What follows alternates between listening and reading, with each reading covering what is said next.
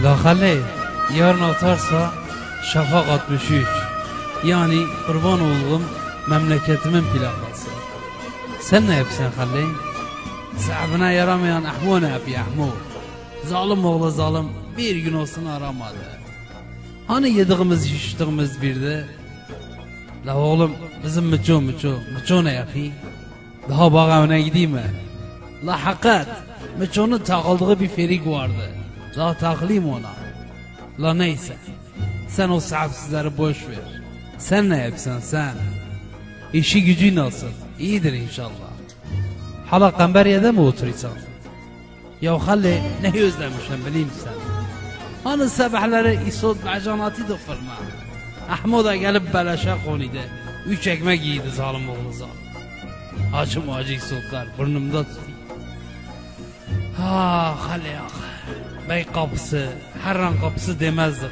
Her yeri gezerdik. Çocukluk hoştu ya Halil. Şimdi büyüdük. Namusuma, nikahıma Halil. Keşke hep çocuk kalsaydık. Bilmiyorum Halil. Şafak beni sıkıştırıyor galiba. Ruhum daralıyor. Vallahi bir kaç kaset getirmişim. Onlar da olmazsa deli olurum.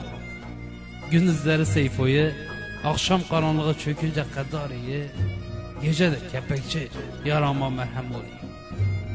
Geçenlerde televizyonda gördüm.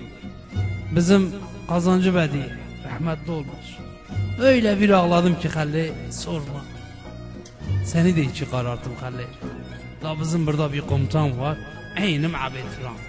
Geçenlerde dedi gel güreşak. Ben de dedim gel komutanım. Sırtını yere vurdum. Benden kıcı kapıyor. Gece nöbetlerini durmadan ye yazıyor. Neyse Halil. Bizim abetiran komutan geliyor. Ben seni sonra ararım. Kendine iyi bak. Ha benim yerime de bir dürmük ciğer yemeği unutma ha. Hadi görüşürüz. Hadi eyvallah Halil. Hadi eyvallah.